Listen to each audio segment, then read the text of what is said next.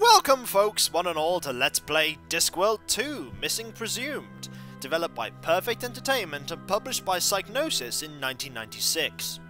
Discworld 2 is the sequel to Discworld, both of which take place in the strange and peculiar world of Discworld, created by Terry Pratchett.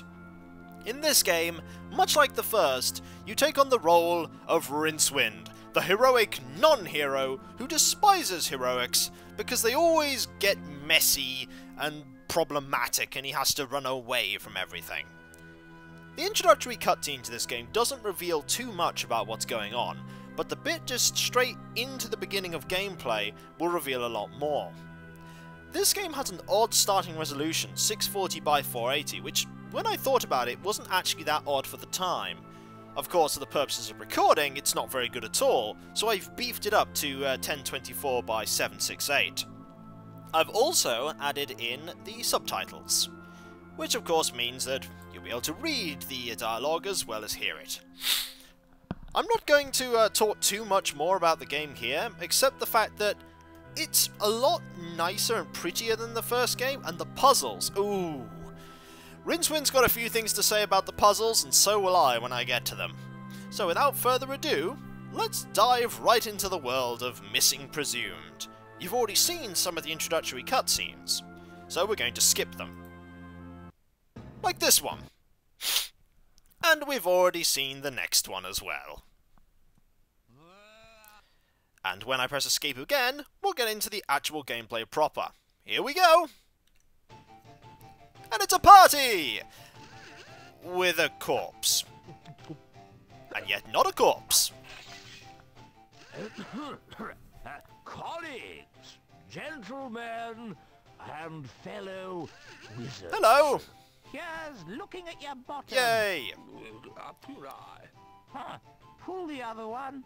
It's got strange knobbly bits on. Alright. Happy Hogswatch Day. Thank you. Uh, colleagues, we are gathered here today for the final departure party of our dear, soon-to-be departed comrade, the wizard Windle Poons. Not Windle! Hooray!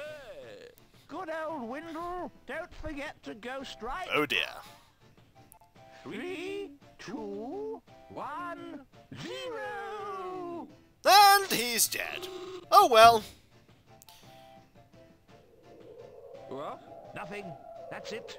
I hope. Right, everybody. Our funeral at 2.30. Okay. Then drinks and ham rolls in the main hall at 3. Or he's not dead. Hiya! Oh, what's happening?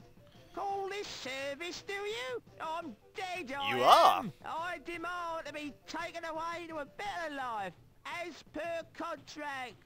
Oi, things were different in my day. Were they? You died properly, not like the deaths you get nowadays. he, he, he, he says he's not dead. Yep. I am dead, but I'm still bloody ambulatory. No, you're not. You're fooling no one but yourself, you know. Hmm.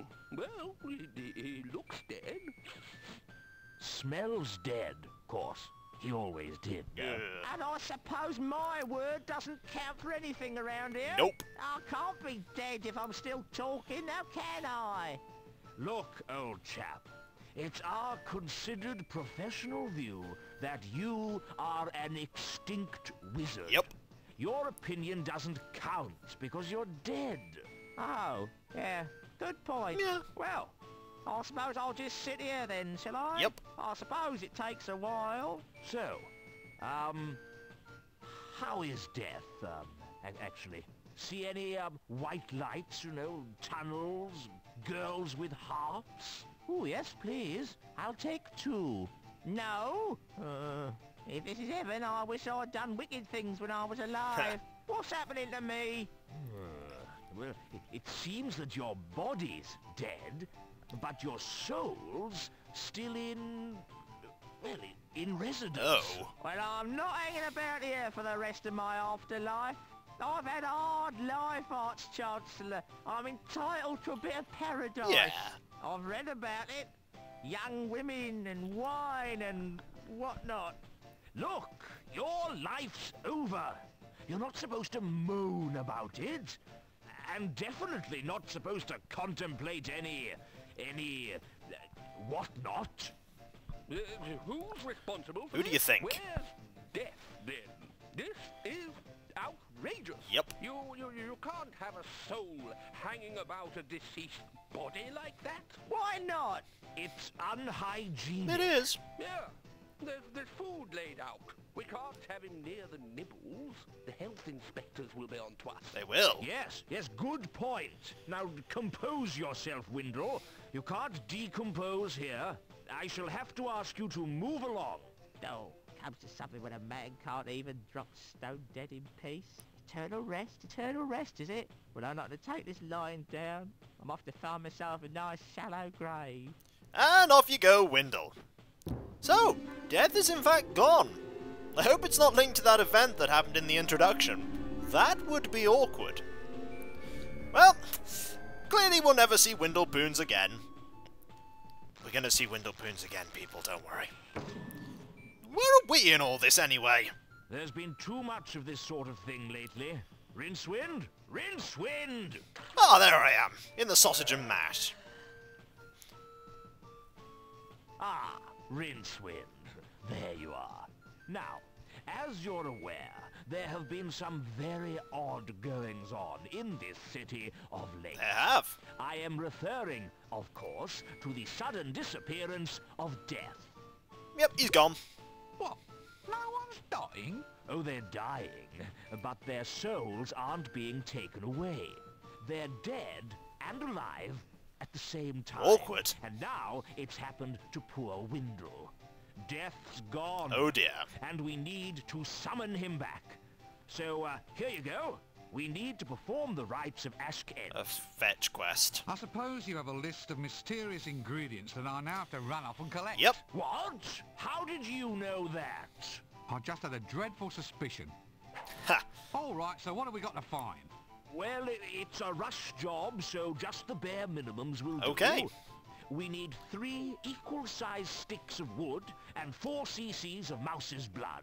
It shouldn't take you more than a few Really? Expect anyone? Yeah. Um, What is it now?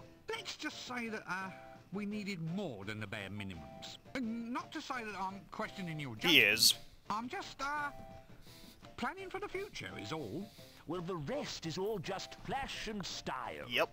This is a death rite after It all. is. You know the routines. A bit of sparkle and glitter in the air, vile charnel stench erupting from the tomb, and lovely dribbly candles. That sort of thing. Okay. None of which we'll need at all. Indeed. That's right. Just the wood and the mouse's blood. There never seems to be any way of getting a decent moment's rest around this place. Well, off you go, Rincewind. The game awaits. The game awaits. 1.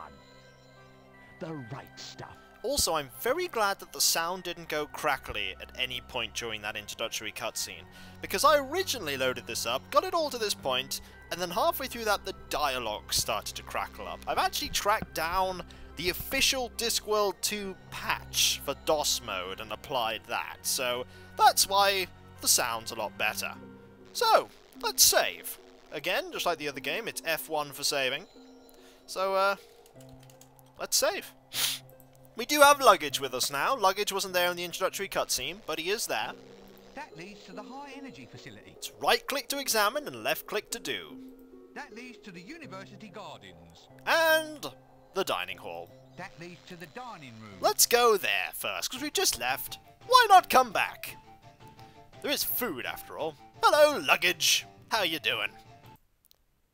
And the CD needs to load some dialogue. Don't you find something strangely soothing about an ambulatory box which can consume 50 times its own mass in food, clothing and furniture? Actually, No. It scares the willies out of me too. yeah. Hello, Rincewind. It's me. It was me five minutes ago. And it'll still be me the next time you look too. The only items we start with in the game are the rites, which we've already been told about, and our money pouch. My money pouch, overflowing with a vast wealth of gold coins. Really? Well, when I say overflowing, more of a slow trickle. Yeah. And vast wealth is a purely subjective phrase. And when I say gold, more gold-ish than gold, I guess. Yeah. Oh, all right. I have a few copper coins. Are you satisfied now? Never. We do have food, though. Food. Well, I say food. It is vaguely organic and Mm. could be placed inside the mouth in times of emergency. Yeah, considering the Unseen University, chance of it being actual food, meh. Can we take it? I would try and scoop it up, but without something to put it in, I would just make a mess. No, you could put it in luggage, I guess.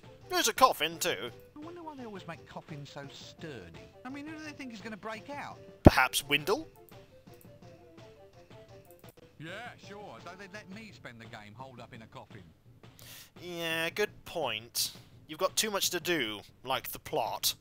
The Arch-Chancellor, my imperious leader, who thinks shouting is the same as intelligence. Before they made him, they broke the mould. What a sight to stir confidence. Well, possibly not confidence, but it certainly stirs something. Let's have a talk with him. You've got loads of things we can talk to him about. For a good conversation starter. Yep. For when everything else fails, why not try a little sarcasm? Indeed. And then there's also... For a personal reflection. And... For asking about a vile stench. We shall talk to him. Um, you're sure you really want me to do this job, then? Yep. I mean, there's uh, no one you'd rather Rather what? lumber with all these hours and hours of pointless activity. Yeah. Hmm. Well, now, let, let me just consider the alternatives. Okay. Um, no. No, you're the bunny, I'm afraid. You know, when I get older, I want a job where I just sit drinking milky tea all day too. If you don't get me those three wooden sticks and that mouse's blood, Okay. I'll... Understand? Ooh, nasty. Uh, right you are then. We'll never find out what that threat actually was. Are you sure there's no one else's life you'd like to ruin? At the moment, I'm content to merely ruin the life of Assistant Wizard Rincewind. I suppose if pushed, I could try ruining the life of Gardener's Assistant Rincewind. Assistant Street Sweeper Rincewind. Actually, I feel a certain yearning to really come down like a ton of rectangular building things upon a sewerage systems blockage removal technician, Rincewind. So, uh, that was three sticks, uh, mouse's blood, glitter, stench, and candles. Right, back in a tick. Or maybe a jiffy. Yeah. Let's also have a personal reflection on our good old-fashioned boss, the Arch-Chancellor. Right, so, now it begins. The Great Quest. Ah, I can see it all now. Wandering locations, searching for obscure items, staring at objects, wondering what horrible manipulations I have to go through just to secure the most mundane pieces of junk. Can't even go to the lavatory without negotiation with three dwarves and a manically depressed troll for the toilet paper. Yep. It's not even as if life has a high score table at the end. Still, could be worse, I Yeah. suppose. I might have paid for the privilege. Bit of a stab at us there, I think, there. Well, there's nothing more to talk to him about except the various items we can get. The other little animations. But we shall wave goodbye to the Chancellor. Sorry, can't stay and chat all day. Must be off. And that's it for the first video. When we come back, folks, we have a quest. And that quest involves questing. Unfortunately, we can't do questing just in the Unseen University. We have to actually step out into the world beyond. So, I'll catch you guys later. And when we come back, we'll probably have to go and find three sticks, some mouse blood, some dribbly candles, a stench, and some glitter. Why they don't just have this stuff lying around in the Unseen University, I don't know. But I suppose if they did, there wouldn't be much of a Chapter 1, would there? I'll catch you later. See you then. Later.